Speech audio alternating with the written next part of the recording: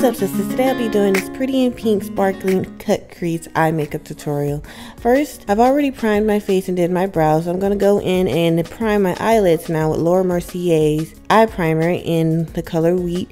And I'm setting it also with Laura Mercier's translucent powder so it'll be easier for me to apply my eyeshadow. Now I'm going to my Morphe 35O palette and I'm going to get this camel color that I like to use as a transition color. And I'm going to apply this right above my crease and underneath my eyebrow bone and just do window swipes with a tapered brush which picks up colors really really easy and just build that up for a nice transition for the next color. Going to my Morphe 35B palette, I'm getting this light baby pink color and I'm applying it right over my transition color, still above the crease and underneath the brow bone and doing the same window swipes, blending that in so my other pink colors will transition into it well.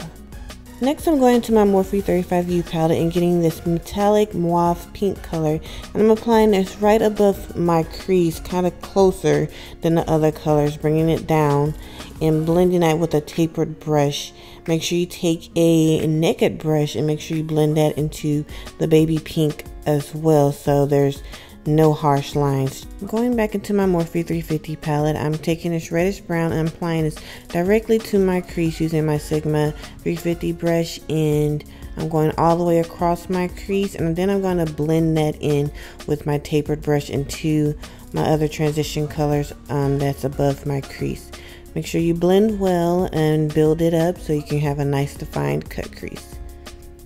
Next I'm going to take my NARS Creamy Radiant Concealer in the color caramel and I'm going to apply this all over my lid using a concealer brush and I'm going to cut my crease right below my crease line making sure that reddish brown we just applied still shows and apply this all over and set it with Laura Mercier's setting powder. Going back into my Morphe 35O palette, I'm taking this dark brown and I'm applying this right on the outer corner underneath my crease line, creating a smoky look. I'm only keeping this on the outer corners and I'm using a smudge brush and I'm just blending that inwards. I'm going to use that same mauve pink color from my Morphe 35U palette. I'm taking a flat brush and I'm patting that into the center of my eyelid, kind of keeping it on the outer parts of it and staying underneath my crease. And I'm going to blend that into the dark brown as well for a good transition and blend. Going back into my Morphe 35O palette, I'm taking this metallic silverish pink color and I'm applying that to the inner corner of my eye and bringing that to the center, creating a nice highlighted color and contrast to my eye. I'm also patting this color in with a flat brush and blending that in to the mauve color as well. Make sure you're careful not to go over your crease. Since I don't use tape, I just take my NARS Creamy Concealer and clean up the outside of my eyeshadow, creating a sharper look. Before I apply any glitter, I go and use my Tarte Clay Pot Liner and I'm just giving myself a nice wing.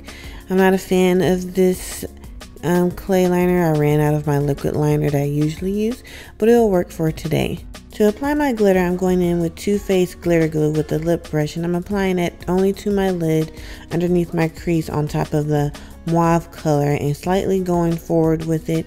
I'm just patting that slightly in, not being too hard on my eyeshadow. Now I'm going to dip into my Eye Kandy glitter in the color Double Bubble. It's a pinkish color and I'm going to pat that over the areas that I applied the glue so the glitter can stick. I really don't play with glitter much, but I was pretty excited to finally use some to get this nice look. If you would like a tutorial on how to do my face routine for my foundation and contouring and stuff, let me know below.